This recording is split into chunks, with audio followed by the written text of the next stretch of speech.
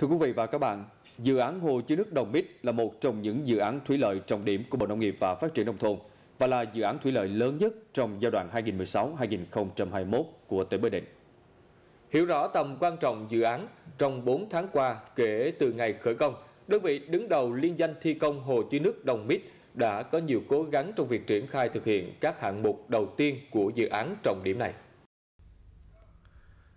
Hồ chứa nước Đồng Bích nằm trên địa bàn huyện miền núi An Lão. Công trình thi công hồ chứa được bố trí tại bờ phải hạ lưu đập, trên tổng diện tích khoảng 7,5 hecta bao gồm khu nhà làm việc, nhà ở và dịch vụ, khu sản xuất bê tông, khu sửa chữa lắp ráp cơ khí và kho bãi. Từ ngày khởi công đến nay, công ty cổ phần xây dựng 47, đơn vị đứng đầu liên danh thi công hồ chứa, đã đạt được khối lượng chính bao gồm đào đắp hơn 800.000 mét khối đất đá các loại, đổ bê tông thường hơn 8.000 mét khối các loại, Dự án hồ chứa nước Đồng Mít thuộc dự án nhóm A do Ban Quản lý Đầu tư và Xây dựng Thủy lợi 6 thuộc Bộ Nông nghiệp và Phát triển Nông thôn làm chủ đầu tư. Trong đó, có thầu xây dựng đập chính, trang xả lũ, cống lấy nước, khoan phục, mua sắm, chế tạo, lắp đặt thiết bị cơ khí, quan trắc và các hạng mục phụ trợ, có tổng giá trị hơn 1.000 tỷ đồng.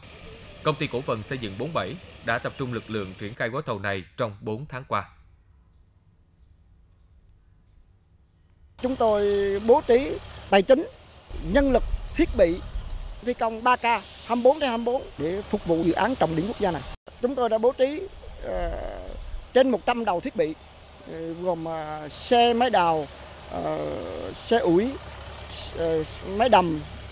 xe bên uh, và nhân sự thì gần 200 uh, cán bộ công nhân viên kỹ sư đã đã làm thực hiện công việc ở công trường này. Tuần cuối cùng của tháng 6, dưới cái nắng như thiêu như đốt trên công trường thi công hồ chứa nước Đồng Mít, anh chị em công nhân công ty cổ phần xây dựng 47 vẫn miệt mài thi công hạng mục cống dẫn dòng. Với mục tiêu năng suất, chất lượng và hiệu quả công việc, anh chị em không chỉ nêu cao quyết tâm nâng cao năng suất lao động, thi công đúng thiết kế, đạt yêu cầu về chất lượng, mà còn phải đảm bảo an toàn lao động trong điều kiện mặt bằng thi công chân móng còn chặt hẹp và thời tiết khắc nghiệt do nắng nóng kéo dài trong những ngày qua thời tiết rất là khắc nghiệt. Ban chỉ huy động viên anh em nghĩa là phải là bảo hộ đầy đủ che kín à, nhất là buổi trưa và buổi chiều rất là nóng. Để đẩy nhanh được tiến độ và làm được năng suất là phải có những cái biện pháp. Chúng tôi sẽ tăng ca sáng trưa chiều tối và ca ba. Còn về mặt về kỹ thuật á, là phải đảm bảo đúng kỹ thuật làm đúng thiết kế. Nhưng mà quan trọng nhất á, là cái an toàn lao động. Bởi vì cái hiện trường đây là chặt hẹp máy móc thiết bị rồi cẩu máy đào xe và con người đang thi công trong phạm vi hẹp thì đảm bảo an toàn lao động cho người lao động là đứng phải đứng đầu trong cái, cái, cái, cái cả cái biện pháp thi công của chúng tôi.